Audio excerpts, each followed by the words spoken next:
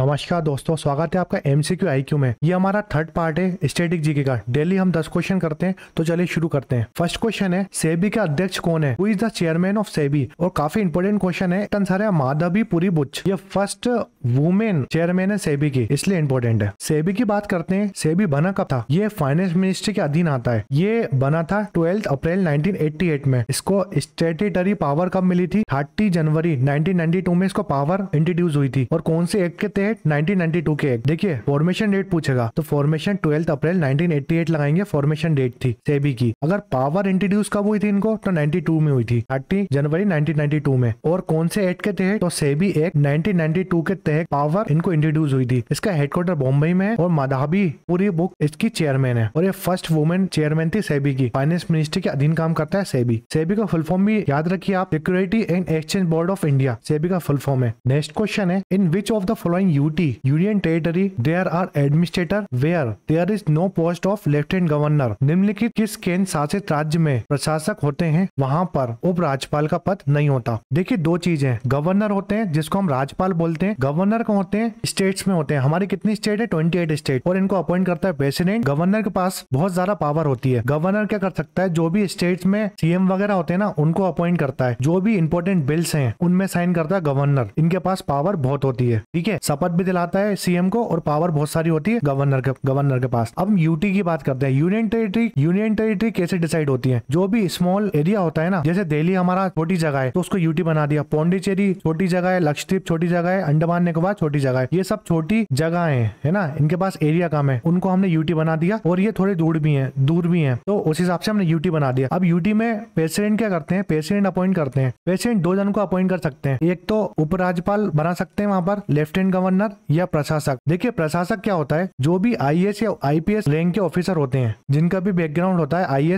या IPS officer उनको प्रशासक बनाया जाता है एडमिनिस्ट्रेटर बनाया जाता है, और लेफ्टिनेंट गवर्नर जितने भी मिनिस्टर वगैरह हैं, ठीक है, उपराज्यपाल उनको बनाया जाता है। लेफ्टिनेंट गवर्नर उस यूटी में होती है, जहाँ पर विधानसभा होती है। विधानसभा होती है, आपने देखा होगा, जहाँ पर विधानसभा लेजिस्लेटिव असेंबली होती है, वहाँ पर सीएम अपॉइंट करते हैं। तो जितनी भी यूटी है, जो हमारी तीन यूटी है, वहाँ पर सीएम भी होते हैं गवर्नर भी होते हैं लेफ्टिनेंट गवर्नर भी होते हैं। तो जहाँ पर विधानसभा है, वहाँ पर लेफ्टिनेंट गवर्नर होते हैं। मगर दो यूटी ऐसी हैं, जहाँ पर विधानसभा नहीं है, जब भी लेफ्टिनेंट गवर्नर को अपॉइंट करा जाता है। तो वो देखते हैं, और कौन सी तीन यूटी है जिसमें एडमिनिस्ट्रेटर होते हैं? तो देखिए लेफ्टिनेंट गवर्नर कौन कौन सी यूटी में पहली बात तो आठ यूटी हमारी, जिसमें से पाँच यूटी में लेफ्टिनेंट गवर्नर है। ठीक है? अंडमान निकोबार, दिल्ली, जम्मू कश्मीर, लद्दाख और पौंडीचेरी। इसमें से जो तीन यूटी है ना, जैसे दिल्ली, जम्मू कश्मीर और पौंडीचेरी, यहाँ पर लेजिस्लेटिव असेंबली है। ठीक है? यहाँ पर चुनाव होते हैं और सीएम होते हैं यहाँ पर। सीएम अपॉइंट होते हैं लेफ्टिनेंट गवर्नर के साथ, ठीक है? तो ये याद रखना है, मगर चलती किसकी है? चलती प्रेसिडेंट की है, ठीक है? क्योंकि यूटी है, चलती प्रेसिडेंट की है, मगर सीएम अपॉइंट होते हैं क्योंकि विधानसभा है। मगर अंडमान निकोबार लेजिस्लेटिव असेंबली नहीं है, मगर जब भी लेफ्टिनेंट गवर्नर है। तो ये पाँच यूटी याद रखिए, जहाँ पर लेफ्टिनेंट गवर्नर की पोस्ट है। तो अंडमान निकोबार की बात करते हैं। अभी यहाँ के देवेंद्र कुमार जोशी जी लेफ्टिनेंट गवर्नर है, अंडमान निकोबार के। विनय कुमार सक्सेना, दिल्ली के गवर्नर है। मनोज सिन्हा जम्मू कश्मीर के गवर्नर है। बी डी मिश्रा, लद्दाख के गवर्नर है। और तमिल साई सुंदर राजन, इनको एडिशनल चार्ज मिला है पौंडीचेरी का। तो ये यूटी याद रखिए। फिर आते हैं एडमिनिस्ट्रेटर जो भी प्रशासक होते हैं ना I S I P S rank वाले, उनको एडमिनिस्ट्रेटर बनाया जाता है। तो चंडीगढ़, दादर नगर, हवेली और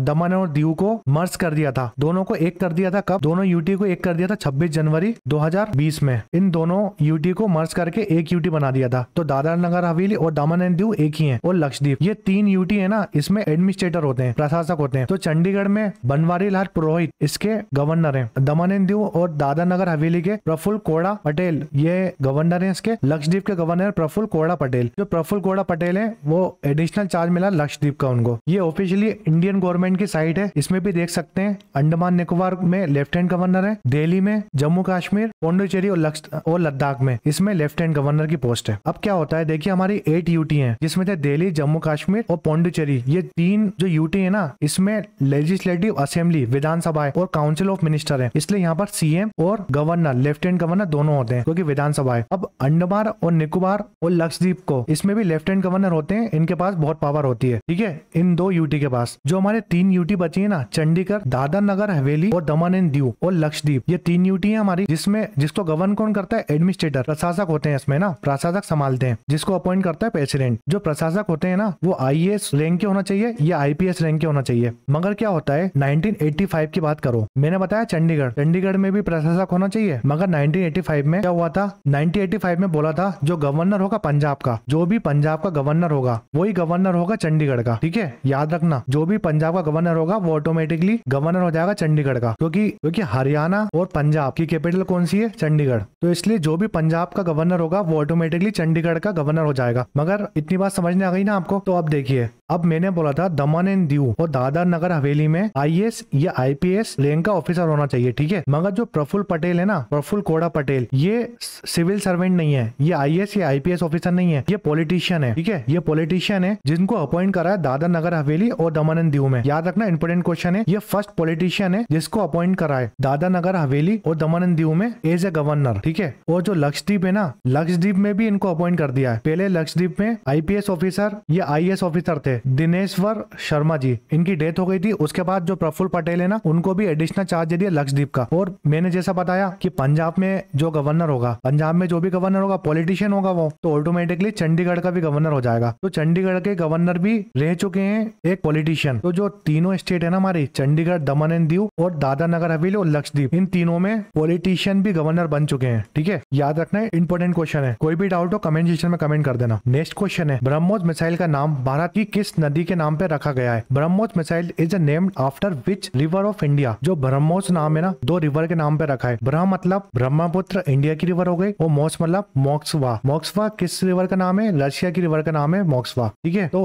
ब्रह्मोस मिसाइल इंडिया और रशिया मिलके बनाते हैं ब्रह्मोस मिसाइल ठीक है? और ये कौन सी मिसाइल है? ये super sonic super sonic cruise missile है ना? ब्रह्मोस मिसाइल है ना? सुपर सोनिक क्रूज मिसाइल है। जो ब्रह्मपुत्र है, उसका ओरिजिन कहाँ है? ब्रह्मपुत्र रिवर का ओरिजिन कहाँ पर है? तो कैलाश रेंज जो कैलाश रेंज है हिमालय में। रेंज ऑफ़ हिमालय से निकलती है ब्रह्मपुत्र रिवर। कैलाश रेंज कहाँ पड़ती है? तिब्बत में। जो ब्रह्मपुत्र है ना, वो तीन कंट्री में बहती है। तिब्बत से निकली, तिब्बत पे कब्जा कर लिया था चाइना ने। तिब्बत बोल दो या चाइना, दोनों एक ही है। चाइना से निकली, इंडिया पहुँची। इंडिया पहुँची, उसके बाद बांग्लादेश में गिर जाती है। बांग्लादेश में बे ऑफ़ बंगाल में ये गिर जाती है रिवर तिब्बत में इस नदी का नाम बोलते हैं सेंगपो ई सेंगपो बोलते हैं इस नदी को, तिब्बत में। और जब इंडिया में आती है, इंडिया में दिहांग बोलते हैं इस रिवर को। इंडिया में दिहांग बोलते हैं और बंगाल में क्या बोलते हैं? जमुना बोलते हैं इस रिवर को। तो याद रखना है, जमुना बोलते हैं इस रिवर को। तीनों अलग अलग नाम है। ईसांगपो बोलते हैं, सांगपो, तिब्बत में ब्रह्मपुत्र को दिहांग रिवर बोलते हैं और ब्रह्मपुत्र बोलते हैं, ठीक है? जब ये अरुणाचल प्रदेश से अंदर आती है ना, ये रिवर जब बोलते हैं दिहांग रिवर और आसाम में इसको बोलते हैं ब्रह्मपुत्र। दोनों याद रखना, इंडिया में दो नाम है, ब्रह्मपुत्र और दिहांग रिवर और बांग्लादेश में गिरती है, बांग्लादेश में पहुँचती है, जमुना नाम है इसका। नेक्स्ट क्वेश्चन है, हाल ही में अंडर 19 एशिया कप भारत ने किस देश को हराकर जीता? Recently Indian won under 19 Asia cup by defeating which country तो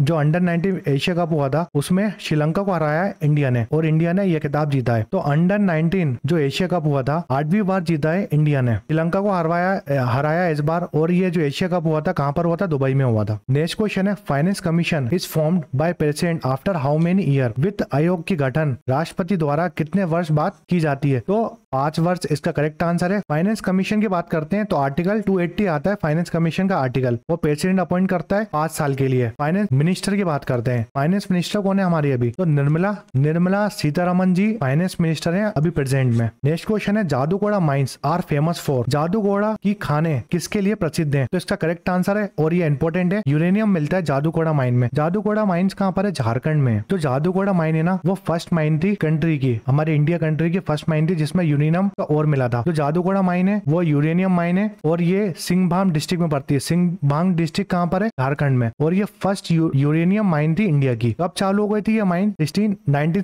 से सिक्सटीन के बीच में ये चालू हो गई थी। इंपोर्टेंट यूरेनियम माइंस देखते हैं हम। इंडिया में कौन कौन से इंपोर्टेंट यूरेनियम माइंस है? तुरामदी यूरेनियम माइंस झारखंड में। जादूगोड़ा जो माइंस है, वो भी झारखंड में। नरवा पहाड़ माइन्स ये भी झारखंड में माइन्स है। भाटीन माइंस ये भी झारखंड में। भाग जाता माइन झारखंड में यूरेनियम माइन्स है। जो तुमरा पल्ले यूरेनियम माइन्स है, वो आंध्र प्रदेश में है। तो तुमरा पल्ले uranium mines important gold mine देखते हैं इंडिया में। तो गोल्ड माइंस है हट्टी गोल्ड माइंस बहुत इंपॉर्टेंट है हट्टी गोल्ड माइंस कर्नाटका में पहादिया गोल्ड माइंस झारखंड में Kundarkocha gold mine Jharkhand में पहाड़सी झारखंड में कोलार गोल्ड माइंस कर्नाटका में इंपॉर्टेंट हट्टी है कोलार है, सोनभद्रा माइन्स यूपी में और लावा गोल्ड माइन झारखंड में। फिर आयरन ओर आयरन ओर की माइन्स कहाँ पर है? पत्थी कोंडा आयरन ओर कर्नाटका में माइन्स है कटक आयरन और माइन से उड़ीसा में वेस्ट सिंहभाम झारखंड में पड़ता है। वहाँ पर आयरन और निकाला जाता है। बेला दीला आयरन और छत्तीसगढ़ में और ये बहुत इंपॉर्टेंट है। दिल्ली रजहारा दिल्ली रजहारा छत्तीसगढ़ में माइन्स है। रत्नागिरी माइन्स महाराष्ट्र में इंपॉर्टेंट माइन्स है।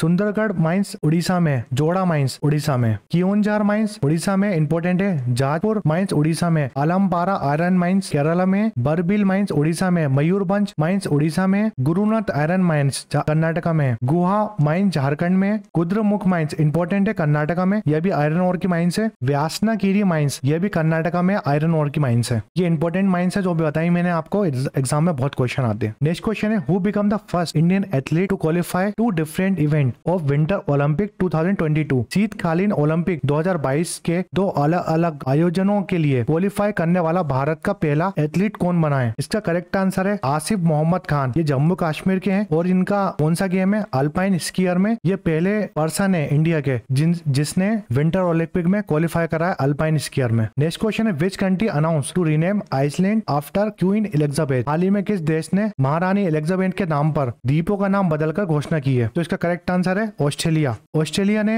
जो ऑस्ट्रेलिया का एक आइसलैंड था, जिसका नाम था एस्पाइन आइसलैंड उसका नाम बदल के क्यून एलिजाबेथ टू आइसलैंड रख दिया है, किसने? ऑस्ट्रेलिया ने। और ऑस्ट्रेलिया कैपिटल क्या है? Canberra who inaugurated the Kalpana Chawla space science research centre Kalpana Chawla, space science research centre की उद्घाटन किसने की थी? तो इसका करेक्ट आंसर है राजनाथ सिंह ने करी था उद्घाटन, Kalpana Chawla, space science research centre का। और ये एक बना कहाँ पर है? जो चंडीगढ़ यूनिवर्सिटी है ना, उसके अंदर बना है ये सेंटर तो याद रखना है आपको। नेक्स्ट क्वेश्चन है वेयर वास फाइयान फ्रॉम फाइयान कहाँ का रहने वाला था? फाइयान जो है, वो चाइना से आया था, ठीक है? किसके कोर्ट में आया था? जो चंद्रगुप्त सेकंड थे ना, उनके कोर्ट में आया था फाइयान याद रखना, चंद्रगुप्त सेकंड के कोर्ट में आया था फाइयान फाइयान चाइनीज़ ट्रेवल था, किसके कोर्ट में आया था? चंद्रगुप्त सेकंड के कोर्ट में आया था। ये हमारा स्टेटिक जीके का पार्ट थर्ड था। डेली हम दस क्वेश्चन करते हैं। अगर आपने डीएफसी की सीरीज़ नहीं देखी तो वो क्वेश्चन देख लीजिए। वो भी इंपॉर्टेंट क्वेश्चन है। और मैं जो एसएससी के लेक्चर पढ़ा रहा हूँ आपको topic wise previous year question history से स्टार्ट करा है मैंने। वो सीरीज़ तो बिल्कुल मत भूलना आप। स्टेटिक जी के